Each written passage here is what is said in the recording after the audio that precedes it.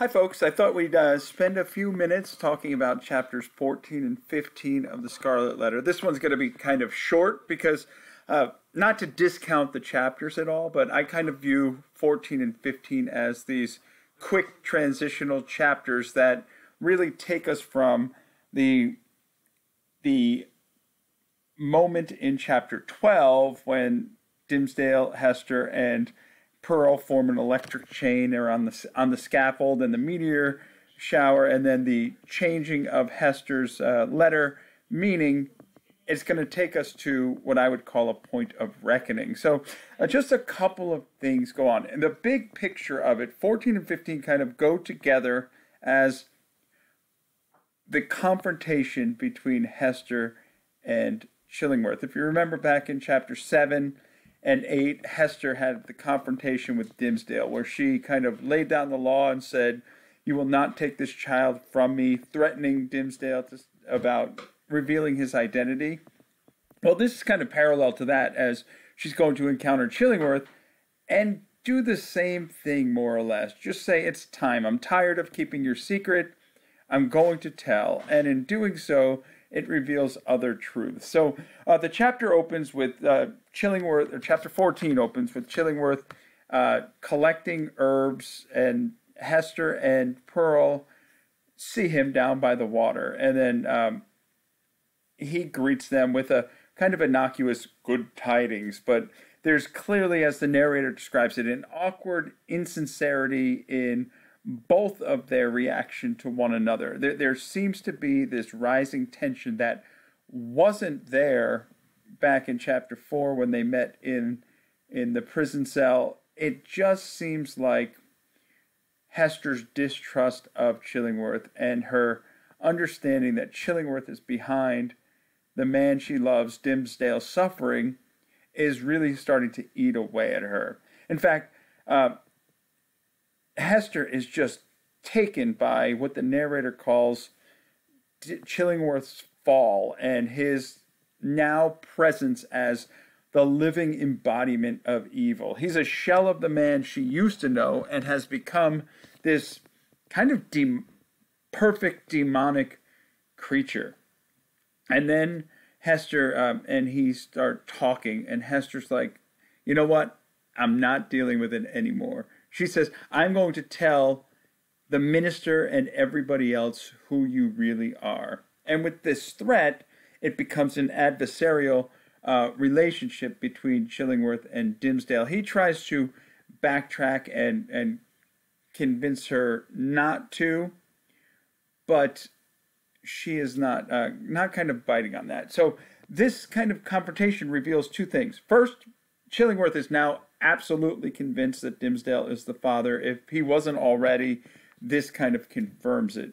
And second, Dimmesdale challenges her to let the black flower blossom as it may. In other words, it's he's saying, you do what you have to do, but I will do what I have to do, and we'll see the chips. We'll let the chips fall where they may, or we'll, we'll see how this plays out. I'll win this. In other words, it becomes this me versus you for the soul of Dimmesdale battle that kind of erupts out of all of this. And and and then he says at the the way now go thy ways and deal as thou wilt with yonder man.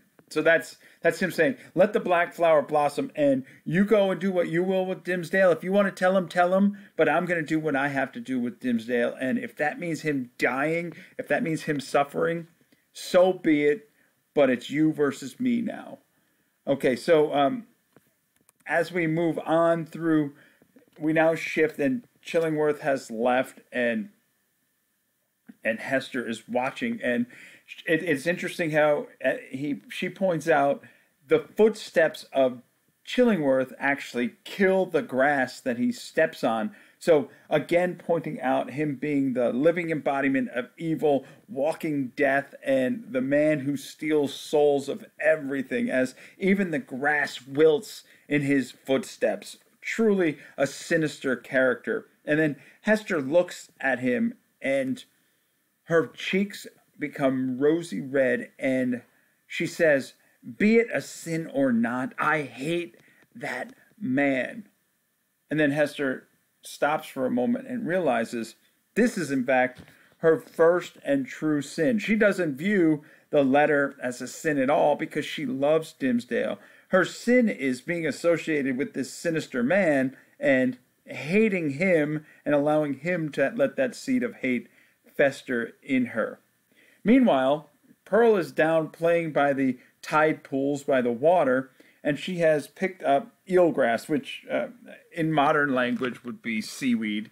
Um, and the eelgrass is green.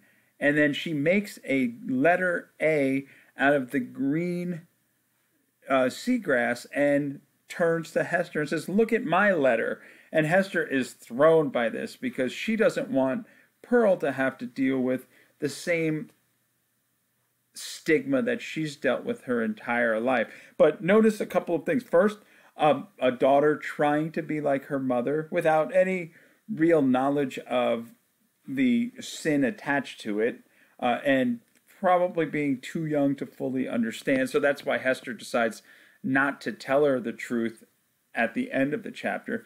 And second, notice the color green. Green usually symbolizes envy for somebody else, and this is kind of symbolic of the natural inclination. Again, it comes from nature, the natural inclination for Pearl to envy her mother and want the letter just like her mother has. Now, keep this in the back of your mind because this is a significant line in chapter 16. And when we read 16 to 19, we're going to do it as a clump, and you're going to see this is a major part of it. Okay, so, and then as the chapter comes to a close, we get a sense that Hester is planning to meet with Dimmesdale. It, it, it's time to tell him the truth, and Pearl starts questioning about Dimmesdale and starts questioning in an odd manner.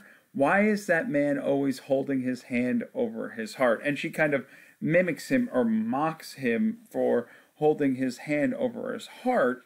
And Hester is kind of thrown by this question. But uh, the chapter comes to kind of a, a quick close as she now heads out for a chance a chance meeting. She's planning this chance meeting with Dimmesdale, and it's time for her to um, to reveal the truth and to figure out what their next course of action is going to be. So we've transitioned from this climactic moment on the scaffold to now a an encounter that's going to happen that's going to lead us in full charge towards the conclusion of our story.